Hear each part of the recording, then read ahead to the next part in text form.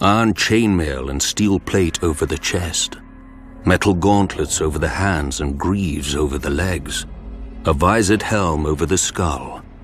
A knight in full armor can shrug off swords, spears, and axes, but Valyrian steel slices through his protections like so much cloth.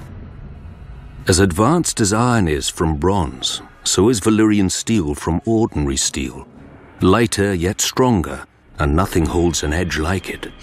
If you take a whetstone to a Valyrian blade, you'll need another whetstone, and maybe another hand to hold it. Nobody knows how the Valyrians forge their steel. Less than a handful of smiths can now even reshape it. The process, like so much of their civilization, was lost in the Doom. Many claim they wove magic spells into the molten metal and blasted it with dragonfire. When you see a Valyrian blade, smoky and dark as if drinking in the sun and rippling with a thousand folds, you may not scoff so loudly. The Valyrian steel that exists now is all there will ever be. Some survives in the citadel with the maester's chains, where a link of Valyrian steel signifies study of the higher mysteries, whatever those are. Some drifts through the world as prized daggers and jewelry for rich merchants. I've even seen a Dothraki arakh.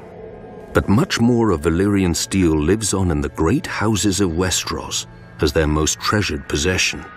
A sword passed down from father to son for generations Ice of House Stark, Heartsbane of House Tarly, Lady Forlorn of House Corbray.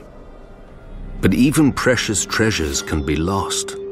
Aegon Targaryen's Blackfyre and Visenya's dark sister disappeared in Daemon Blackfyre's rebellion.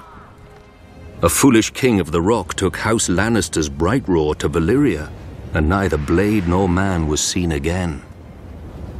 And then there are the swords that are not lost, but lose their owners. For five centuries, Longclaw was the pride of House Mormont, my house.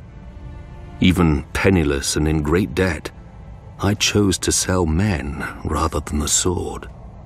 And when my shame became known and I fled Bear Island for the East, I left it behind for my father, to hold it for a worthier heir. Valyrian steel is a wonder of the world, sharper than wits, truer than men, rarer than virtue. But even its edge cannot cut so deeply as a son's failure, nor its value match that of redemption.